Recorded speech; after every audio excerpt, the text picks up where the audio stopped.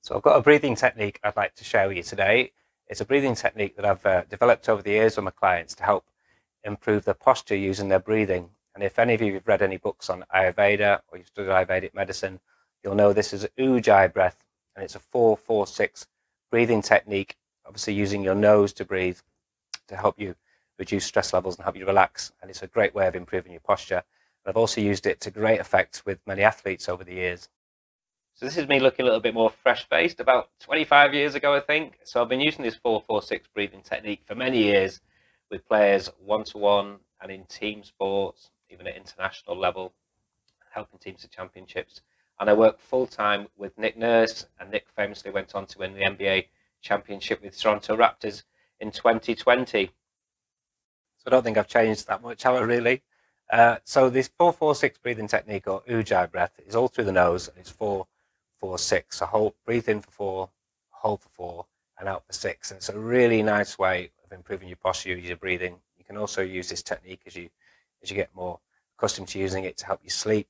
If you're struggling to sleep, using the nose to breathe helps you sleep much better. It opens up the airways. So if you're not good at using your nose, generally it'll really help to clear clear that and help you breathe better. A really nice technique to use pre-meditation. If you do meditation techniques, use this technique just to calm your mind. If you're struggling to settle into meditation, do that.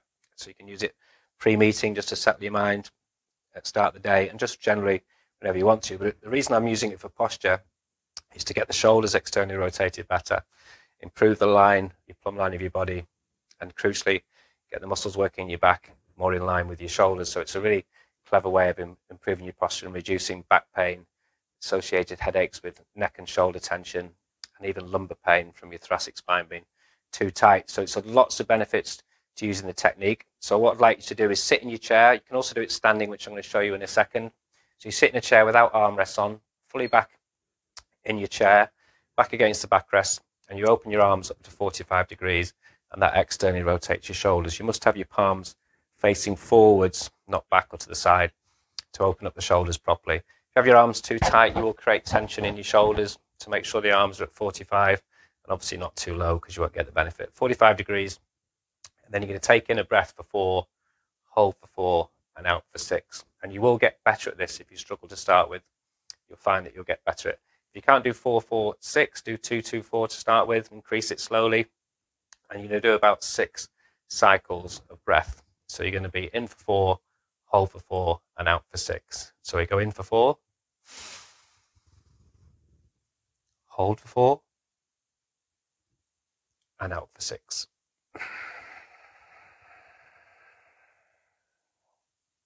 And on the out breath, you might have just heard a little, little gravelly noise, and that's just constricting your airway as you breathe out. So you still use the nose to breathe out, but you're just holding it through your throat a little bit, and that makes your diaphragm and your oblique muscles and your stomach muscles work much better with that little out breath of that. Just feel it tension through your throat a little bit and you'll feel your stomach muscles work. So it's much more effective using, using that. It does take a little bit of practice, but you'll soon get the hang of it. And then repeat the cycle. If you need to take a little pause between each cycle of 446, do so. You can go straight into it with a slight second pause each time if you're ready to do it. And you'll get much better at doing this breath cycle and you'll soon find your posture starts to improve and you get a lot of tension out of your neck, your back, and crucially between your shoulder blades. So give that a go. I'm just going to show you how to do it standing up now as well.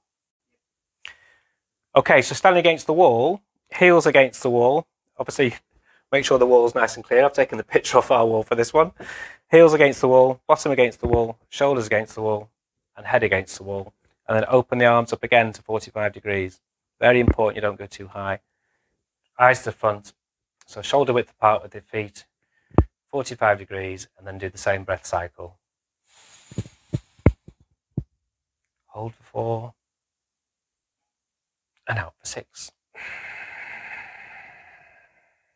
And after five or six cycles of doing that, when you stand away from the wall, you'll find that your posture is an awful lot better. And over a period of time, that will start to become a natural habit for you rather than being more rounded in the shoulders. Get the shoulders open, breathe in that way, just build that into into your rest breaks, into taking your short breaks whenever you feel like you need to do it. It's a really good way. And next time, I'm going to show you how to do a little exercise to improve the, the tension or release the tension between your shoulder blades by using a wall as well.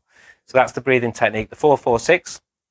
give it a go. Obviously, if you're having any pain with it at all, don't do it. But you shouldn't have any pain just to doing simple breathing exercises. And I hope that really helps reduce some tension in your neck and shoulders.